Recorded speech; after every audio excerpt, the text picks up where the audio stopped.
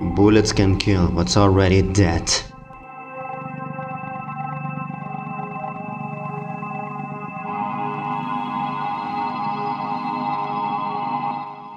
Quite by accident, I discovered a dozen dead bodies in the woods. I didn't know how they came to be there, but that didn't matter. They shouldn't be, and yet they were. They're dried up, desiccated remains were the ungodly things of nightmares. I might have been more traumatized, but the unburied corpses were thankfully sedentary and long deceased. Had any of the corpses decided to reanimate and address me when I found them, I wouldn't be able to compose this testimony. An asylum would be my new home. Even now, I wonder if I should check myself into a competent facility for observation. I'm fully aware that what I'm about to divulge doesn't sound sane or rational, but it absolutely happened nonetheless. My first instinct was to back away slowly and pretend I didn't see the mummified bodies stack up like core wood. The mind has limits to what it can deal with. If I called the authorities about such a morbid discovery, there would be questions. Lots of questions. Had I stumbled upon some kind of serial killer dumping ground on the short hike? The mounting paranoia in my head worried me that I would become the chief suspect by lazy detective proxy. I convinced myself it was simply better to reverse course and erase the uncomfortable memory with copious amount of high quality alcohol. The problem was, someone put those bodies there. They didn't individually march into the forest and expire from natural causes. I knew murder was the unified reason they came to be congregated together in the mass dump site. By the appearance of their advanced putrefaction, the crimes had been committed long time ago. But for all I knew, the killer was actively hunting.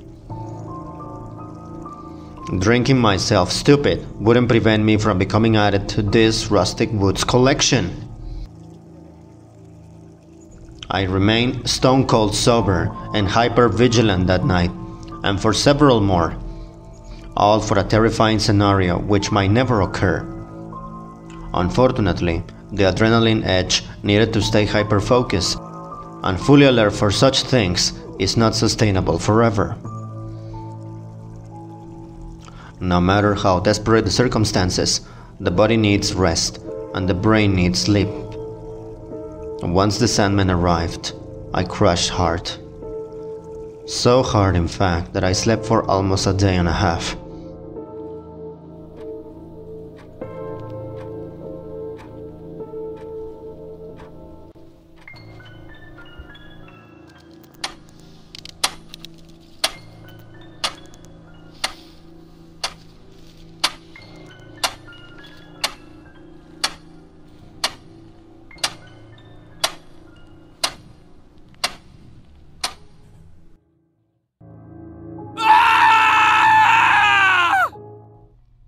I awoke with a violent jolt. My eyes frantically scanned the room left to right to ensure I hadn't allowed the unknown taker of lives to slip in and add me to his grim tally. There was no immediate signs of danger, but my runaway concerns still had my heart pounding.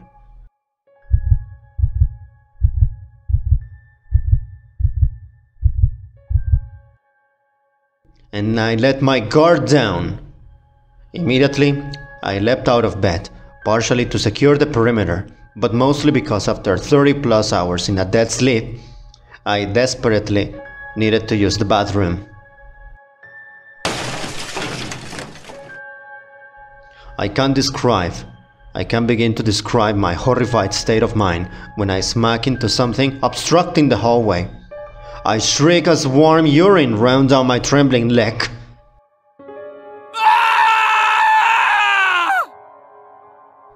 I backed away from the unseen obstacle with the spastic grace of a startled cat, and flipped on the light. Nothing could have prepared me for what I witnessed. Nada. Nada.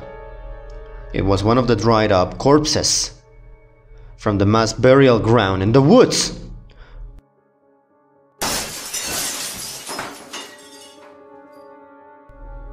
It was one of the dried up corpses from the mass burial ground in the woods.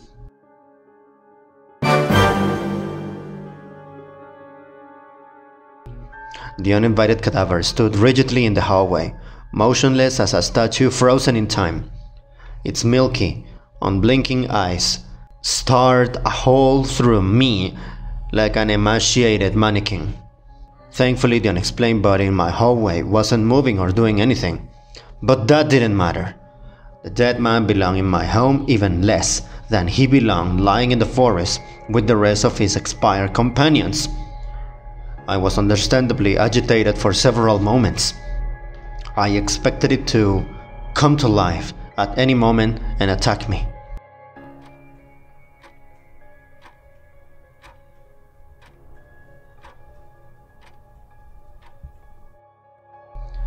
When nothing dramatic happened, I didn't know how to process it. Had it been eerily posed in my house to frighten me by the murderer himself? Such a macabre provocation was on par with what you would expect from a diabolical mind. But why not just kill me outright when he had the chance? I had fallen asleep. He had the upper hand. What logical purpose would this creepy cat and mouse game serve? I darted around the flesh marionette and ran to the front doorway.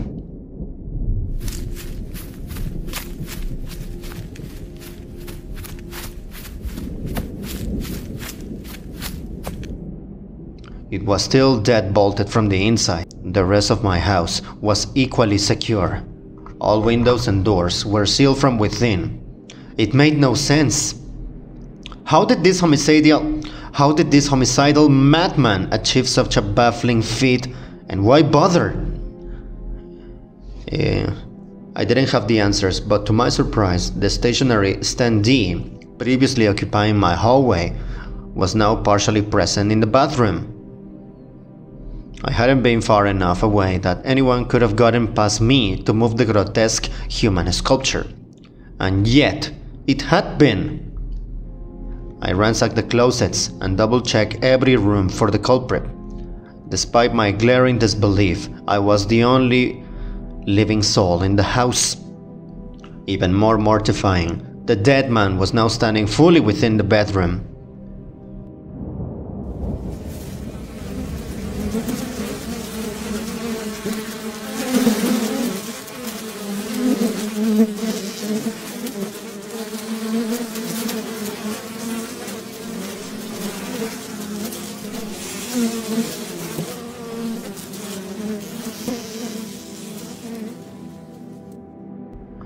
Even more mortifying, the dead man was now standing fully within the bedroom.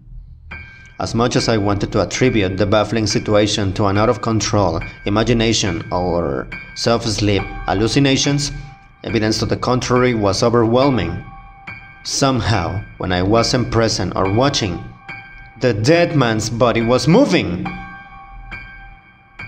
It didn't bother I didn't bother arguing with myself over the possibility or logistics. My unknown visitor came closer every single time I looked away or blinked. His face was frozen in a contorted mask of pain from whatever ended his life prematurely. I had to face facts.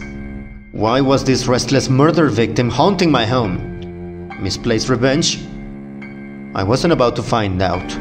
I sprinted around the body to flee for my life, but lurking in my living room was yet another petrified pit.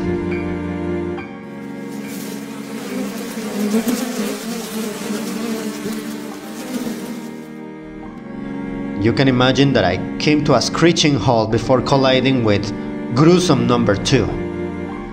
On a skinny dime, I shifted gears and drafted into my study to grab a hunting rifle from the gun cabinet. To my consternation, another of the freeze-dried crew was already sequestered there. As with the other conspirators, it appeared to be fully motionless, but it was obviously working in tandem with the others to corral me. I fumbled helplessly with the bullet. Without looking away too long, I did my best to jam it into the chamber. Regardless, a rapid fire glance at the entrance confirmed my suspicions. My other rotting house guests were in the process of entering the studio too. I realized it was just a matter of time until the entire cabal joined us for an uncomfortable meeting. As much as I tried, it was impossible not to blink. The more I resisted, the greater my eyes watered and burned. They ached and itched from excessive emotional strain and mental taxation. I shouted in defense, Do not come any closer, I mean it! I'll shoot!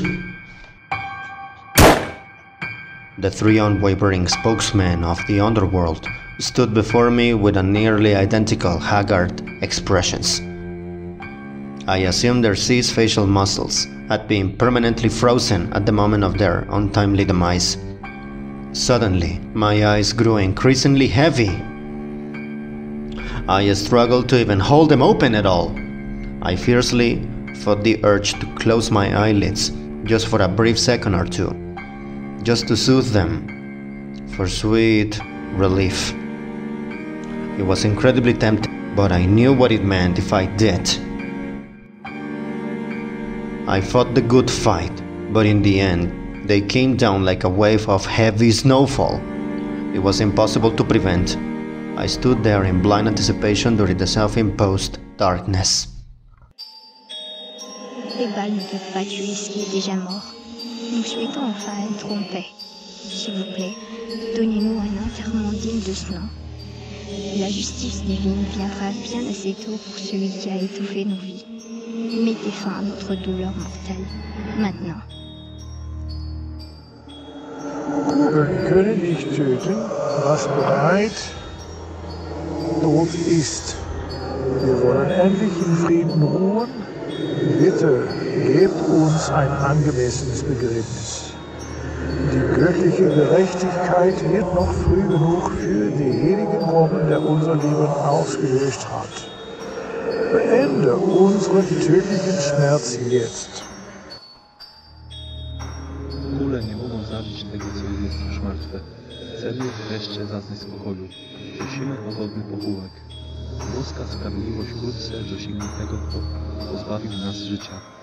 Zakończ nasz śmiertelny ból teraz. I heard one of them reply with a raspy, gravely tongue and acerbic wit. যা ইতিমধ্যে মারা গেছে গুলি তা মেরে ফেলতে পারে না আমরা অবশেষে শান্তিতে থাকতে চাই অনুগ্রহ করে আমাদের যথাযথ দাফন করুন যিনি আমাদের জীবন ছিনিয়ে নিয়েছিলেন তার জন্য শীঘ্রই ঐশ্বরিক ন্যায় বিচার আসবে আমাদের নশ্বর যন্ত্রণা এখনই শেষ már halott. Szeretnék végre békében élni.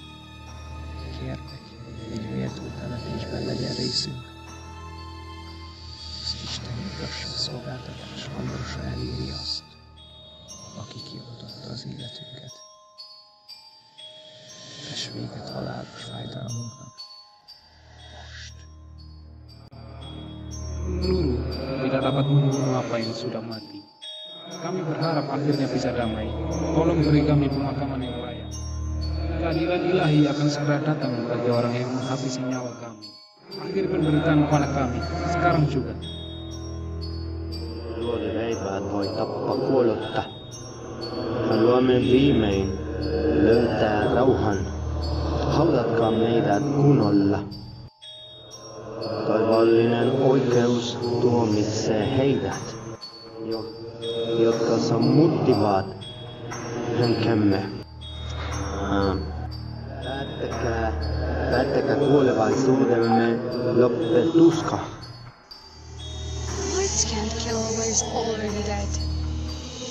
Wish to finally be at peace. Please give us a proper burial.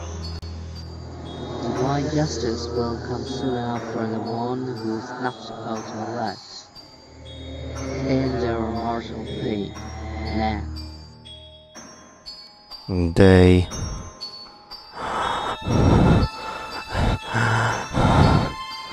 They. They eventually spoke one or two languages I could understand. Then the voices did say. uh, vanished. Al final hablaron una o dos lenguas que yo pudiera entender. Después de eso desaparecieron. Se desvanecieron como polvo. Al final hablaron una o dos lenguas que yo pudiera entender. Después de eso, desaparecieron. Se desvanecieron como polvo. Hepuhuivat. Mersin sanantai kaksi. Sitten he lähtivät. He katosivat. Ils s'en parlaient. J'ai réussi à comprendre quelques mots. Puis, ils sont disparus comme de la fume. È una sorpresa. Non me lo aspettavo. Ho capito alcune delle cose che hanno detto. Nem. Nem számítottam arra, hogy leszek megérteni őket.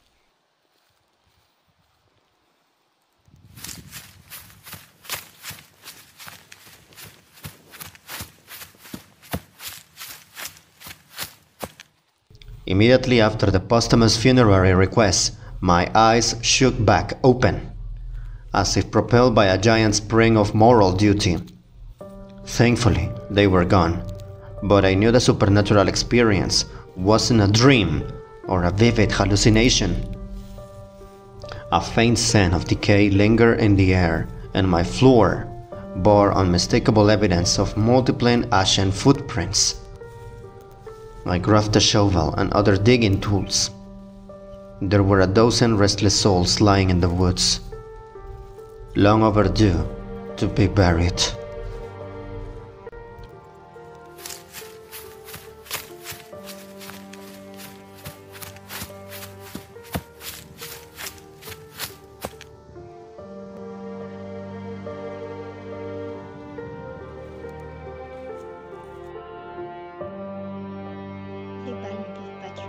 Déjà mort. Nous souhaitons enfin être en paix. S'il vous plaît, donnez-nous un enterrement digne de ce nom. La justice divine viendra bien assez tôt pour celui qui a étouffé nos vies. Mettez fin à notre douleur mortelle. Maintenant.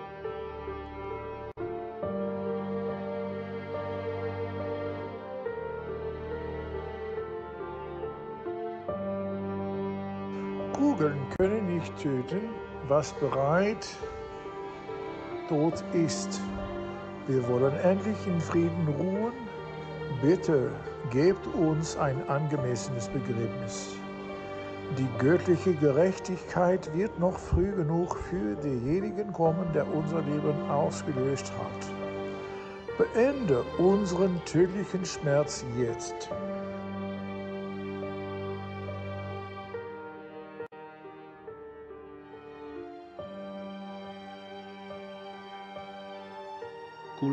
Zabić tego, co jest już martwe. Chcemy wreszcie zaznać spokoju. Prosimy o godny pochówek. Boska sprawiedliwość wkrótce dosięgnie tego, kto pozbawił nas życia. Zakończ nasz śmiertelny ból teraz.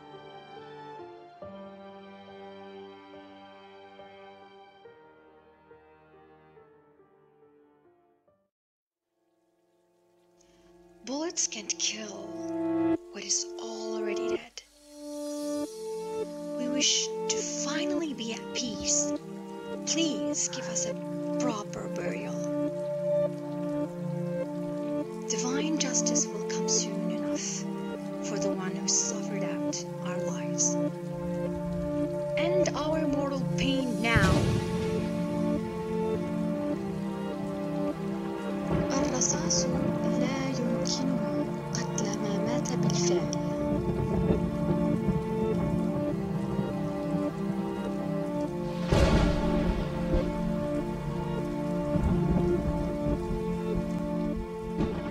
যা ইতিমধ্যে মারা গেছে, গুলি তা মেরে ফেলতে পারে না আমরা অবশেষে শান্তিতে থাকতে চাই অনুগ্রহ করে আমাদের যথাযথ দাফন আমাদের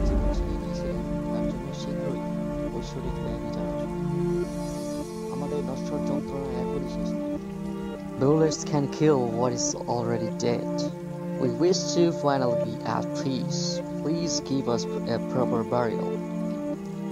Divine justice will come soon enough for the one who snuffed out our lives. End our mortal pain. Now.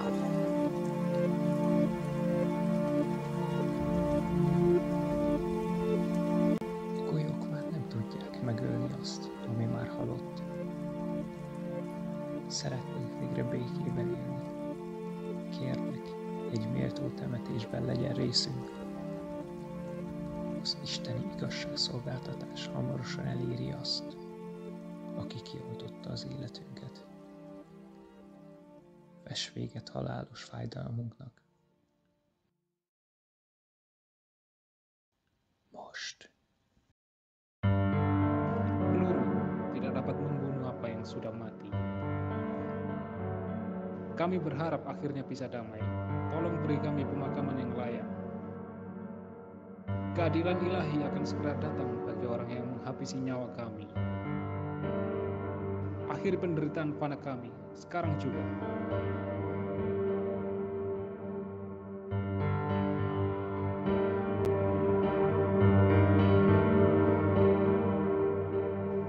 Luodi veipää tappaa kuollutta. Haluamme viimein löytää rauhan. Haudatkaa meidät kunnolla. Taivaallinen oikeus tuomitsee heidät, jotka sammuttivat henkemme. Päättäkää kuolevaisuudemme loppetuska.